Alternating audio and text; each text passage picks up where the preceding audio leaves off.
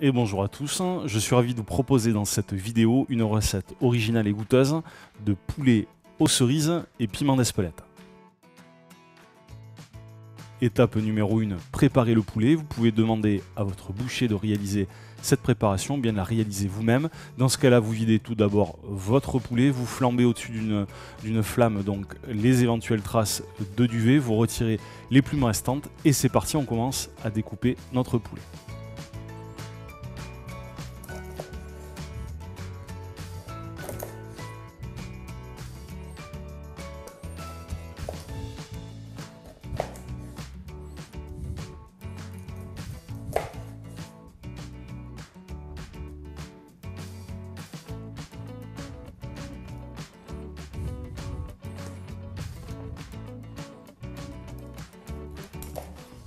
Maintenant, je vous conseille de brider votre volaille tout simplement pour permettre, vous savez, au chair de bien se tenir, d'avoir un morceau de viande qui ait une épaisseur à peu près identique pour obtenir un même temps de cuisson.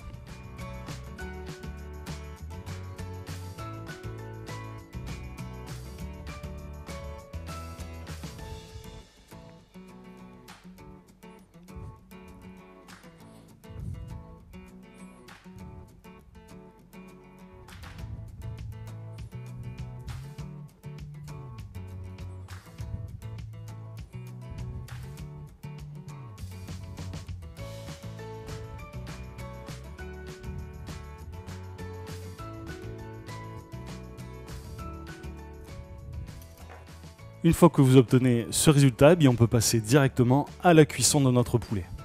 Pour réaliser cette opération, je vous conseille de prendre une cocotte, vous faites chauffer votre récipient, vous mettez votre huile d'olive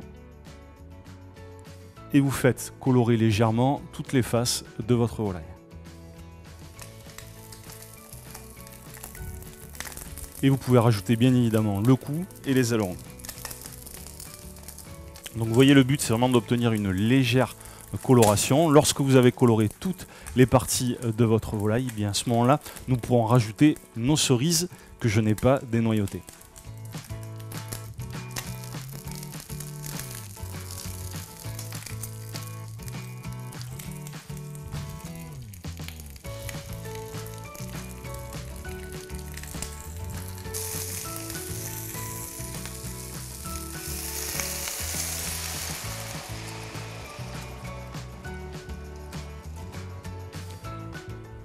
Une fois que nous avons cuit donc nos cerises, c'est une cuisson très courte, un petit peu moins d'une minute sur un feu vif, et eh bien dans ce cas-là, nous pouvons rajouter notre vin rouge. Là, c'est vraiment euh, à hauteur, on va dire, des cerises. Prenez une spatule et venez bien gratter votre cocotte, vous l'aurez compris, pour récupérer ce qu'on appelle les sucs, c'est-à-dire tous les goûts, euh, tout le goût de votre viande.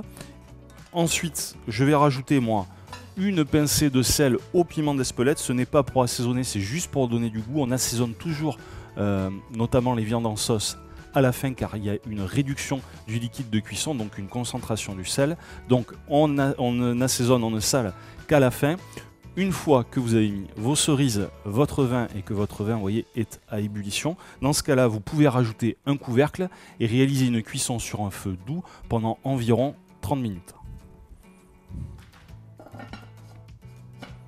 Je vous conseille tout de même pendant la cuisson eh bien de jeter un petit coup d'œil bien évidemment à votre préparation et ne pas hésiter à l'arroser avec une louche ou une cuillère à soupe voilà, pour donner du goût à l'intégralité de la chair de votre volaille. Regardez cette superbe volaille, l'odeur est juste incroyable, la vue aussi, le goût, vous allez voir, vous allez vraiment vous régaler. Maintenant, vous pouvez rajouter votre assaisonnement donc avec votre sel au piment d'Espelette.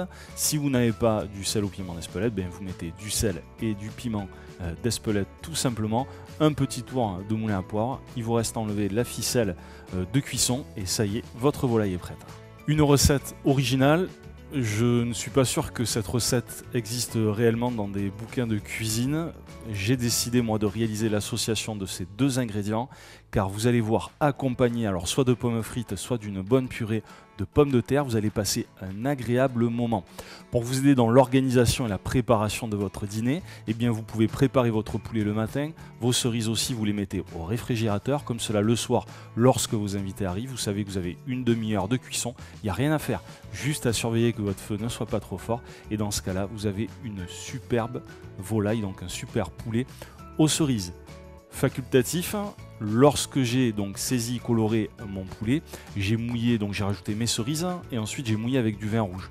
Vous pouvez, si vous le souhaitez, déglacer après avoir mis les cerises avec un peu de kirsch et ensuite mouiller avec du vin rouge.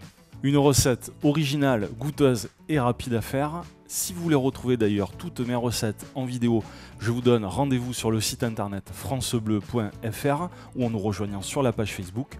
Pour ma part, je vous embrasse et passez un agréable moment avec des produits de saison et des produits de qualité avec cette recette de poulet aux cerises et piment d'Espelette.